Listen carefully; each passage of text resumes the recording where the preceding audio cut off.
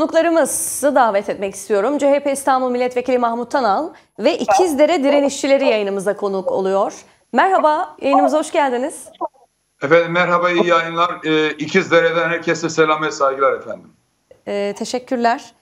Şimdi önce bugün neler oldu? İsimlerinizi de öğrenebilir miyim acaba e, hitap etmek adına? Anlamadım. Ben Kemal Baş. Kemal Bey, evet. Bugün sabahleyin ilk tut, tutuklananlardan biri ben. Öyle mi? Gözaltına alınan kişilerden birisiniz. Evet. Neler oldu? Bir anlatır mısınız bize sabah saatlerinde yaşananları? Zaten 11 gündür Bağlantımız mı zayıfladı acaba?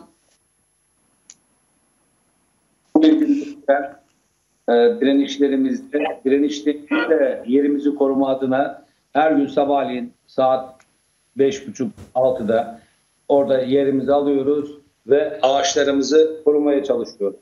Bu vadimizin yok olmaması için dünya kadar tüm medyada, sosyal medyada yer bulan şu İkizdere Vadimiz maalesef maalesef çok pasif direnişlerimize rağmen bizim yalnız doğa sevgisi, ağaçlarımızı koruma adına hem de e, bütün deremizin e, bulanık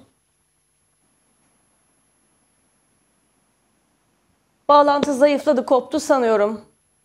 Öyle mi? Peki. O zaman sabahleyin Alo. e, duyuyor Kemal? Bey, bağlantı zayıfladığı için zaman zaman kopmalar oluyor. Beni duyabiliyor musunuz rahat? Şu an duyabiliyoruz evet. Tamam, buyurun devam edin. Ben de sizi şu an daha iyi duyuyorum. Sabahleyin biz normal olarak e, bütün bütün grupla e, arkadaşlarımızla oradaydık. Ağaçlarımızı koruma adına. Ama ansızın sabahleyin korkunç bir e, güç hemen e, askerler olduğu gibi e, bize doğru yürümeye başladılar. Biz pasif olarak yerimizde bekliyorduk ve ansızın gelip hemen e, yerlerini aldılar. Biz zaten sabahleyin çok e, toplanmamıştık her zamanki gibi. E, oradaki yol açma çalışmalarında engel olmak için bekliyorduk. Ama ama ansızın bize gelip müdahale edince bizim herhangi hiçbir direnişimiz yok. Biz yalnız vadimizde e, bekliyoruz ve normal taş ocağı olmasın diye e, direnişimizi sürdürüyoruz. Ama maalesef bugün sabahleyin e, jandarmanın tek tek celsede hemen burayı derhal boşaltın. E, burayı hemen boşaltmanızı istiyorum. Tamam dedik. Herhangi biz biraz tamam zaman verin hemen boşaltacağız. Demeye kalmadan üzerimize gibi saldırıp e, gelip tutuklamalara başladılar. Ben amcamın oğlu e, Hüseyin var. O- Onu yine aralarında çekip alırken yine hemen iki jandarma beni tutup hiçbir onlara karşı direniş göstermeden pasif direnişimizi sürdürme amacıyla oradaydık ve hemen bizi alıp e, Toma'ya koydular ve e, karakola çekildik. İfadelerimiz alındı. Orada e, Şu an herkes serbest kaldı mı peki gözaltına alınanlardan?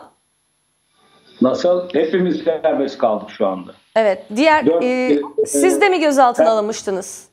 Pervin, e, Ayşe, Ayşe Baş, Pervin Baş ve Derya Ekşi Ayşe'nin kızı oluyor bu. Çanakkale'den geldi. Annesinin durumunu e, gördük. E, ama bugün gerçekten e, bizi orada çok olağanüstü yani bir güç kullanarak hemen sanki e, onlara saldırıyormuşçasına bir hareketler oldu ve hepimizi alıp her yere kestiler ve çoğu dört kişi ve bu bayanlar da yaşlı burada yaşayan insanlar ve e, ocak arazileri orada orada çalışıyorlar ekmeklerini buradan kazanıyorlar. E, Evet. Onlara bu Yani gerçekten çok kötü oldu. Biri zaten Ammu, Pervin Baş ambulansla hastaneye kaldırıldı. Fenalaştı. Orada e, düzelip tekrar nezarete getirdiler. İfadelerimiz alındı. Birkaç saat sonra da bıraktılar. Ama askeriye de herhangi o ifade alınma sırasında herhangi hiçbir zorlukla karşılaşmadık. İfadelerimizi alıp bizi bıraktılar. Hı hı. Peki evet. Sayın Tanal siz de günlerdir oradaydınız. Şu an halen Rize'de misiniz bilmiyorum ama siz gözlemlerinizi alabilir miyiz? Bu 10 gündür süren mücadeleye ilişkin.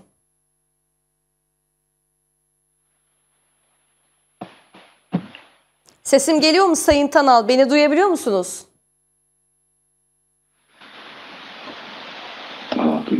Ee, Sayın Tanal beni duyabiliyor musunuz? Duyuyorum sizi. Pekala. Günlerdir oradaydınız. E, gözlemlerinizi almak isteriz. 10 gündür süren bir mücadele var. Şu an halen Rize'de misiniz bilmiyorum ama sizinle başka bağlantılar da kurmuştuk. Neler söylemek istersiniz bu 10 günün sonunda? Şimdi öncelikle e, tarafsıza bağımsızlık, yayıncılık ilkeniz uyarınca vatandaşa doğru bilgilendirmeyi verdiğiniz için sizleri kutluyorum ben Tele1 olarak. Ve e, Rize'de olanlar bugün sabah e, 6 sularında arkadaşlar beni aradılar. Ben e, otelde kalıyordum. Burada e, şu anda e, çalışma var. E, ormana girişi yasaklıyorlar. Hı hı. E, ve onun üzerine e, il başkanımızla birlikte apar topar sabahın erken kör saatlerinde e, ormana vardık. Yani İkizdere, Gürdere köyünün bulunduğu e, Vadili'ye vardık. Vadili'ye vardığımız zaman e, orada e, iki tane anne e, yaşlı ve bir tane hanımefendi toplam olmak üzere e, üç hanımefendi ve orada yaşlı olan iki anne e, yerlerde ve diğer e, hanımefendiyle birlikte üçü yerlerde sürüklenerek ambulansa kadar getirilmiş idi. Ve e, annenin iki tanesi e, bunlar aynı zamanda kronik hastaydı ve bunların hı hı. durumu kötüydü. Ambulansın önünde uzanmış vaziyette il başkanımızla birlikte o annelerimizin koluna girerek bizler ambulansa bindirdik. Yani orada e, e, hastaneye götürüldü. Hastanedeki tedaviden sonra e, karakola getirildi. Gözaltı işlemleri ifadelerden sonra serbest bırakıldı. Ve aynı zamanda şu anda e, televizyon programına katılan diğer direnişçi arkadaşlardan da gözaltına alınanlar oldu. Öncelikle şunu söyleyeyim İkizdere'de bu doğa mücadelesini gösteren e, İkizdereli halkını kutluyorum yürekten. E, onların onurlu direnişleri e, hakikaten hiçbir menfaati yok, hiçbir çıkarı yok. Tek bir menfaati ve çıkarı var.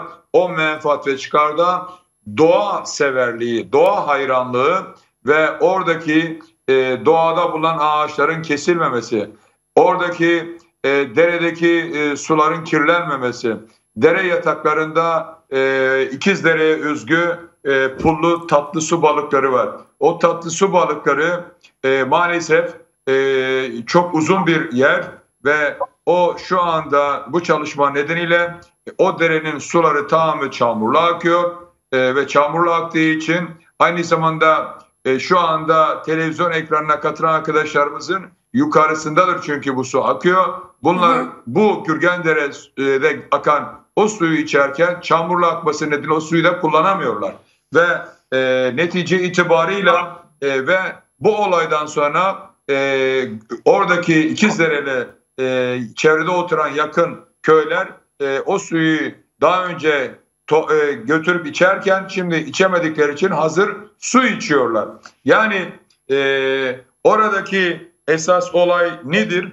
Yabani e, e, hayatı e, en yoğun olduğu bir yer burası. Burası aynı zamanda tabiat varlıkları koruma e, alanı olduğu için e, UNESCO tarafından dünyada 250 tane tabiat alanı olan e, vadilikten e, İkizdere Vadiliği dünyada 53. sırada. Şimdi dünyada 53. sırada bulunan e, doğa harikası olan İkizdere'de e, burada chat rapor alınmaksızın yani bu ormanın yok edilmesi, bu araçların buraya girip ağaçları kesip atması, derinin o yapısını bozması e, ve suların kirletilmesi e, bu e, çet raporuna ihtiyaç duyulmadan e, gelişi güzel hunharca orman kat edilmekte. Şimdi daha önce burayla ilgili e, işlemlerin yapılması ile ilgili takdir edersiniz anayasanın 125. maddesi uyarınca iptal davası açılmıştı. Köylüler o davayı kazanmıştı. Arada iki yıl geçtikten sonra yeniden işlem yaptılar. Şimdi bu işlemi yaparken köylü kardeşlerimiz orada tekrar iptal davası açtı. Yürütmeyi durdurma istemli olarak. Yürütmeyi durdurma istemli olarak niçin açtılar? Eğer bu dava bitmeden eğer bu ormana girilip orman yok edilirse telafisi imkansız zararlar oluşacağı için bir an önce yürütmeyi durdurma kararını istediler. Ancak mahkeme e, şu anda dosya mahkemenin önünde. Mahkeme bu konuda karar vermedi. Ancak müteahhit olan firma yangından mal kaçırırcasına bir an önce orayı talan edip efendim ormanı komple kesmeye çalışıyor. Yani şimdi e, e, takdir edersiniz bir insan hastayken 112 acil çağrılır. Bir yerde yangın varsa yangınla ilgili orman işletmesi e, aranır ve hızlı bir vaziyete oraya gidilir. Niçin? İyileştirebilmek için. Bunlar da adeta bu sokağa çıkma yasağını fırsat bilerek o ormanı yok etmek için e, maalesef oraya e, çok hızlı bir e, vaziyette hunharca e, orman katliamı var. Şimdi düşünebiliyor musunuz? E, ağaca çıkmak e, ormanda İkizdere'de yasak. Ağaca çıkmak yasak. Ağaca çıkarsan suç işliyorsun ama ormanı emniyetin nezaretinde kesersen serbest. Şimdi aslında İkizdereler şunu yapıyor. Anayasal görevlerini yapıyorlar. Anayasanın kendilerine verdikleri sorumluluk gereği anayasamızın 169. maddesi uyarınca devlet diyor ki 169. maddesi devlet ormanları koru, korur, sınırlarının iyileştirilmesi için genişletir diyor. Maalesef İkizdere'de devlet burada ormanları korumuyor, ormanları yok ediyor. Vatandaş orada anayasanın kendilerine vermiş olduğu hak ve yetkilerini kullanıyorlar. Orada iktidar anayasal suç işliyor. Anayasal suç işliyor iktidar orada. Neden? Anayasanın 56. maddesi diyor ki her vatandaşın sağlıklı bir çevrede yaşama hakkı var diyor. Bunu aynı zamanda hem devletin ödevidir bunu sağlamak hem vatandaşın. Vatandaş orada sağlıklı bir çevrede yaşamak için bu ödevlerini, bu sorumluluklarını yerine getirirken devlet vatandaşın sağlıklı bir çevrede yaşamasını yok ediyor. Neden yok ediyor? Eğer bir ülkede orman yoksa orada hastalık vardır. Eğer bir ülkede orman yeşillik yoksa orada hastalığın zemini müsaittir. Yani siz e, dikkat ederseniz sen insanlar doktora gittiği zaman doktorlar şunu söylüyor. Diyor ki efendim gidin ormanda dolaşın. Sağlık için dolaşın diyor. Çünkü psikolojik anlamda, sağlık anlamında her türlü etkini oradaki orman yok eder diyor. Ama maalesef gelinen noktada bu orman yok edilmeye çalışıyor. Peki bu orman yok edilmeye çalışılırken bu ormanda vatandaşlar neyin mücadelesini veriyor? Balıkları söyledik, içme suyunu söyledik. Orada. Dünyanın en meşhur, en iyi ilaç mahiyetiyle kullanılan deli bal dedikleri arıcılık var. Orada kestane ağaçlarının tamamı yok edilmiş olacak. Orada çay bahçeleri var, vatandaşın evleri var. Kadınlar burada şoplandı. Burada fenalaşan kadınlar oldu. Hatta e, e, ağaca çıkan e, bir kadına oradaki kamu görevlisi şunu söylüyor. Ya diyor sen o ağaca niçin çıktın ki zaten burada sana miras verilmiyor ki diyor. Sana miras verilmediği için sen niçin onu koruyorsun ki diyor. Şimdi düşünebiliyor musunuz? Şiddet sadece tekme tokatla şiddet olmaz. Şiddet sözel olarak da olur. O kadınlara bugün o ormanı korumak için o kadınlara kamu görevlileri tarafından sözlü şiddet uygulandı. Sözlü şiddeti uygulayan bu kamu görevlerine ben e, burada şiddetle kınıyorum. Yani düşünebiliyor musunuz? Sadece o kadın o çevreyi korumak için ağacın kesilmemesi için onun gelecek kuşaklara miras kalması için bu mücadeleyi veriyor. Yani aslında e, burada e, ikizlere direnç, direnişçilerine madalya verilmesi lazım. Çünkü onlar bir kamu hizmeti ifade ediyorlar. Çünkü onlar kamu yararı nedeniyle hareket ediyorlar. Oradaki e, ikizlere direnişçileri emniyet görevlerinin hiçbirine ne hakaret etti, ne ters bir laf söyledi. Orada tamamen demokratik, barışçıl bir hakkını kullandı. Ama hı hı. buna rağmen kamu görevlileri tarafından vatandaşlarımız haksız, hukuksuz bir şekilde gözaltına yapılma işlemi yapıldı. Ama en büyük tehdit ve tehlike de şu. En büyük tehdit şu. 84 milyon bunu çok iyi dinlesin. Şu deniliyor. Kim bu demokratik eyleme katılırsa eşi, çocukları, efendim akrabaları varsa işten çıkaracağız diyorlar. Bu resmen şantajdır. Bu tehdittir. Bunu yapanları kınıyorum.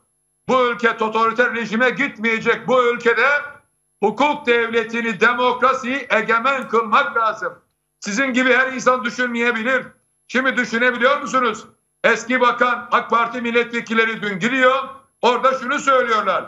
Ya kardeşim biz bu e, evet burada bir lojistik e, liman kurulacak. Bu taş en kaliteli taşmış diyorlar.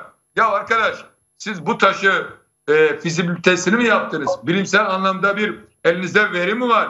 Yani siz burada halen e, e, böyle bir çalışmanız yok. Son sözler şu. Çok da uzattım özür diliyorum. Sabrınız için de teşekkür ediyorum. Ee, evet süremi Burada- aştım. Taş ocakları, taş ocağı için esasen bu e, orman yok ediliyor. Aslında 5 kilometre yakında arkadaşlar çok iyi bilirler. Taş ocağı var. O taş ocağını mevcut olan taş ocağını niçin kullanmıyorlar? Yani bu kadar doğayı tahrip etmeye gerek var mı? Aslında iddia şu. Orada köylü vatandaşımızın bize söylediği şöyle bir iddia var. Deniliyor ki aslında o ormanlık maden e, alanıdır ve burada taş ocağı arama bahanesiyle taş ocağı bahanesiyle aslında maden arıyorlar deniliyor. Çünkü maden arama ruhsatı eğer olursa deniliyor bu hazineye bir kısmı verilecek. Hazineye bir kısmının verilmemesi için maden ocağı ruhsatının arkasına sığınarak orada maden aranıyor. Bu maden varsa da devletin servetidir.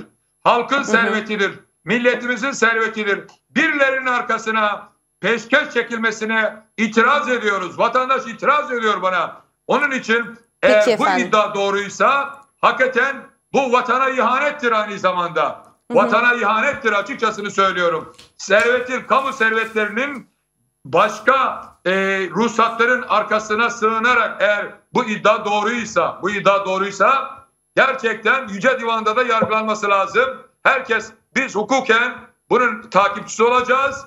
İkizdereli kardeşlerimizin onurlu mücadelesine destek vermeye devam ediyoruz. Ben halen Rize'deyim. İkizderelerin yanındayım. Herkese selam ve saygılarımı iletiyorum. İyi akşamlar diliyorum. Teşekkürler Sayın Tanal. Tekrar ikizleri direnişçilerine son sözü bırakalım. Ee, sizler neler söylemek istersiniz? Dayanışma gitgide büyüdü aslında. Çokça e, destek geldi Türkiye'nin dört bir yanından. E, ne söylemek istersiniz? Söz e, almayan e, kişilerle devam edersek daha iyi olur sanırım. Hemen bize bu bu 11 günlük mücadele yani orman tahribini durdurma mücadelemiz tabii bizi çok yorgun da bırakıyor çünkü sadece bedenlerimizi siper ederek ormanlarımızı korumaya çalışıyoruz. Kolay şey değil. Herkesin desteğini bekliyoruz. Bu ormanlar bu vadi herkesin vadisi. Gerçekten çok doğal bir vadi. Kesinlikle kaybetme lüksümüz yok. Böyle bir vadi bir daha 10 bin senede oluşmaz. 10 bin sene. Yani bu vadiyi kaybedersek 10 bin senede oluşmayacak bir vadiyi kaybetmiş oluruz. Burada ben ne öğrendim? Yani şu 11 günlük sürede. Önceleri atalarımız kendini vahşi hayvanlardan korumak için ağaçlara çıkardı. Şimdi ise insanlar ağaçları korumak için ağaçlara çıkıyor. Bunu öğrendim. Mesela geldiğim nokta. Ee, orman orman bizi saklıyor. Biz ormanı koruyoruz. Yani böyle bir ikili ilişki var. Gerçekten orman bizi saklıyor. Yani sokağa çıkma yasaklarıyla bizi oraya sokmak istemiyorlar ama orman bize yardımcı oluyor. Çünkü biz de ormanı koruyoruz. Arılar bize yardımcı oldu. Yani biz arıları koruyoruz. Arılar bize yardımcı oldu. Orman vatandır. Biz ormanı koruyoruz. Yani Pekala. dolayısıyla biz vatanı koruyoruz. Şimdi Güngör arkadaşımızla ekleyecek bir şey var. Evet buyurun. Ya e, biz bunu hiç anlamıyoruz. Yaklaşık bir buçuk yıl önce e, açıklanan e, bu taş ocağı yapılması fikrine ilk andan itibaren karşı çıktık. Mahkemelerde biz bunları iptal ettirdik. İptal ettirdikten sonra yeniden yapılmasına karar verildi. karar verildikten sonra da bu süreci gün be gün, an be an her zaman takip ettik. İşin bu noktaya varacağını her yerde her zaman için söyledik. Burada bir köy, bir vadi kıyıma uğratılıyor. Tekrar söylüyorum. Kıyıma uğratılıyor. Bütün canlılar, e, bütün yaşam. Bakın yani e, şöyle söyleyeyim.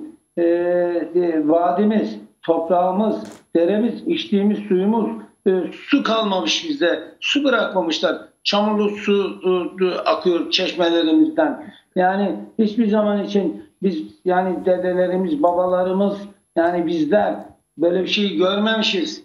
Bu, bu bize şimdi şu anda gösterildi. Ve öyle bir görüntü var ki, vadimizde öyle bir görüntü var ki öyle hunharca bir şekilde e, e, saldırıyorlar ki bakın yemin ediyorum çok açık net bir e, de- örnek vermek istiyorum.